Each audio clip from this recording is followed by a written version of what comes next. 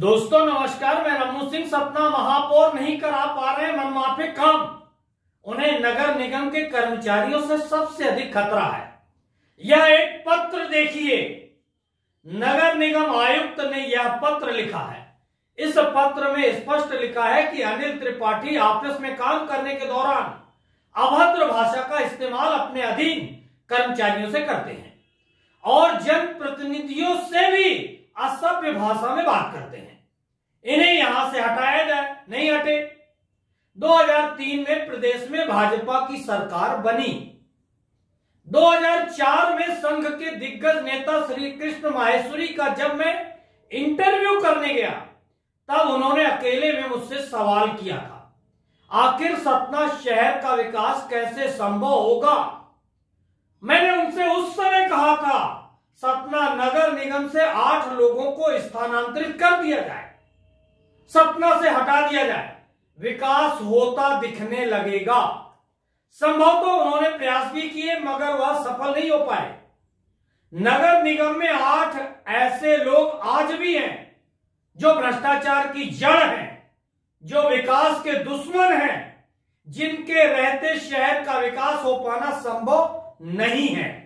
मगर इन्हें हटा पाना भी शिवराज सिंह चौहान के वश में नहीं है। इनकी जड़ें काफ़ी गहरी और मज़बूत हैं। एक उदाहरण और दे रहा हूँ। सतना नगर निगम के तात्कालिक अतिक्रमण प्रभारी राम अर्थ मिश्रा की मैंने लोकायुक्त में शिकायत की। लोकायुक्त ने मेरी जाँच बैठा दी, मगर इस अधिकारी का कुछ नहीं हुआ।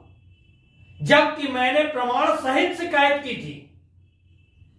सतना महापौर जब सुरक्षा के लिए गनमैन की मांग पर इतने अडिग दिखे, तब मैंने खोज शुरू की।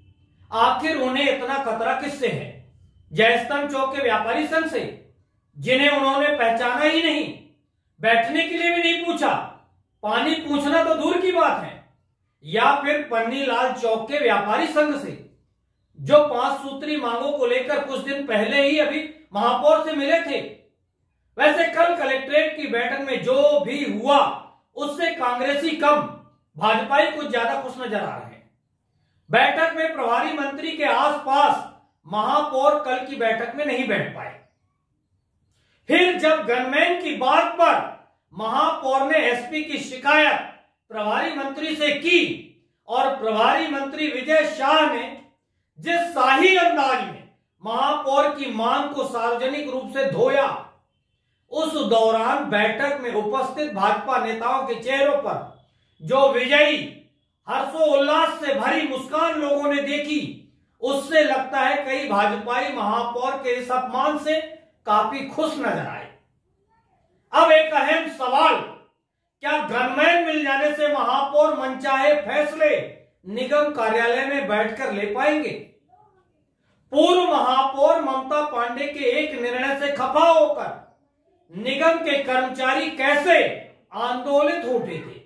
अनशन, धरना, प्रदर्शन, सब कुछ देखने को मिला था। कुछ अधिकारी ही नगर निगम में सब कुछ है। यही ठेकेदार हैं, यही जनता है, यही विकास है और यही शहर के विनाश के कारण भी है। सबसे अधिक प्रभारी, अधिकारी सब पर भारी हैं। राजाराम त्रिपाठी जब महापौर थे स्वर्गीय इंद्राज सिंह यादव प्रतिपक्ष के नेता थे।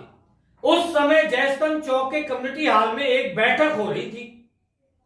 महापौर राजा राम त्रिपाठी ने एक इंजीनियर से फ़ाइल दिखाने के लिए कहा। इंजीनियर फ़ाइल लेकर आए, तब इंद्राज सिंह यादव ने पूछा, इस फ़ाइल में क्या कार्य योजना बनाई गई है? बैठक में पढ़कर सुनाओ। महापौर राजा राम त्रिपाठी ने भी कहा उस इंजीनियर से कि यह योजना पढ़कर सुनाओ।